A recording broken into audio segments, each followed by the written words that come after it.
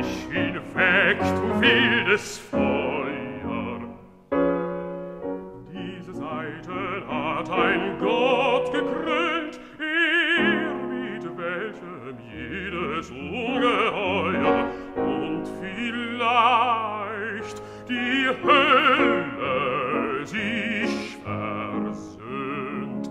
Diese seite stimmte seine Rechte, fürchterliche Schatten und ihr Winsenen bewohnen diesen Nächte, horchet auf mein Lied.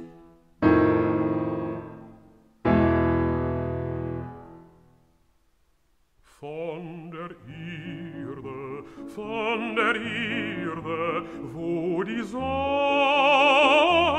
leuchtet und der Stier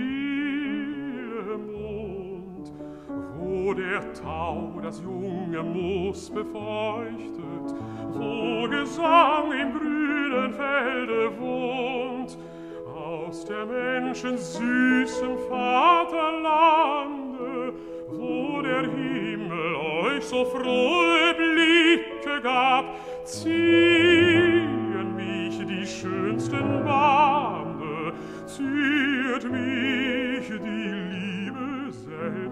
herab, ziehet mich die Liebe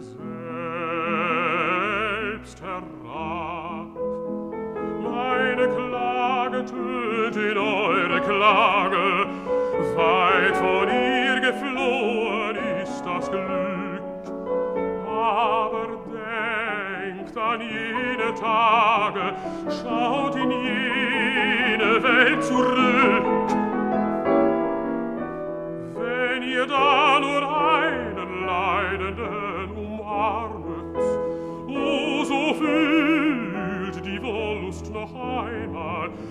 der Augenblick, in dem ihr euch erbarmtet, lindre diese lange Qual.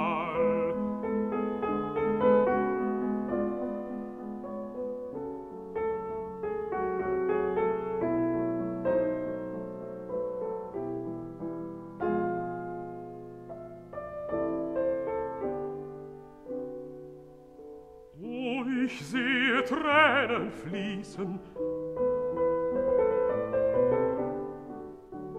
Durch die Finsternis bricht ein Strahl von Hoffnung. Ewig Büße lassen euch die guten Götter nicht, die guten Götter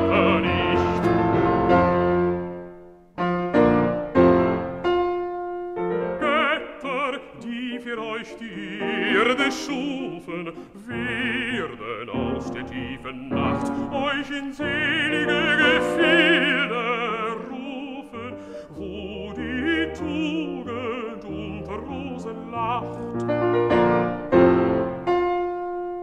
Götter, die für euch die Erde schufen, werden aus der tiefen Nacht euch in selige Gefilde